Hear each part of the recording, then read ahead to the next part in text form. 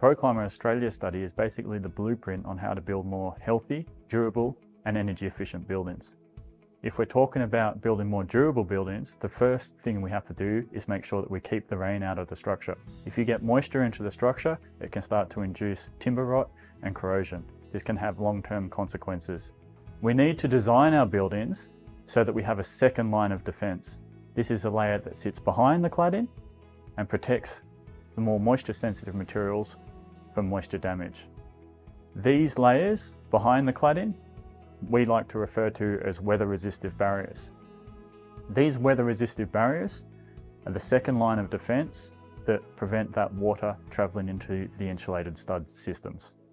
If the discussion is about building more durable buildings, we need to make sure that the membranes themselves are durable. This means we need to have membranes that are durable to UV. They can withstand the UV prior to the cladding going over the top. They can handle temperature stresses when they're in operation behind the cladding. There's a few different membrane technologies on the market. The traditional technology is a microporous technology, but ProClima uses a non-microporous technology called thermoplastic elastomer ether ester. This technology is the most durable technology on the market, has outstanding UV exposure characteristics and excellent temperature resistance characteristics. This means it can be used behind even hot, dark metal cladding and still withstand the test of time. Microporous technology is a polyethylene vapor barrier technology that is made vapor permeable by putting tiny little holes in it in the manufacturing process.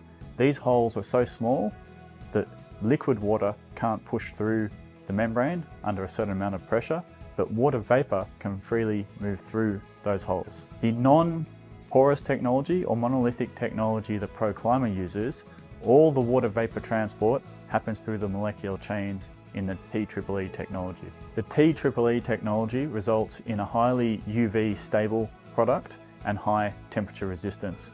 These are two characteristics fundamentally important to the Australian market. International experience and international research has shown that when you use caulking on the outside of a building, eventually it will fail. The caulking is subject to higher temperatures, day and night, diurnal swings, as well as UV exposure. So it's not a matter of if the caulk fails or if the cladding leaks water, but it's a matter of when the cladding leaks water, what happens to that water. That's why we need the second line of defence, which is the membranes sitting behind the cladding.